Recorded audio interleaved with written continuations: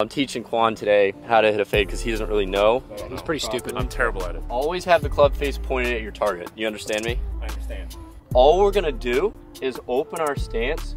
Basically what you're doing is you're swinging along your feet line. So everything is the same, but the club face is pointed at the pin. You understand me? Just. Oh my skanky. Dude, that's actually That's in the hole.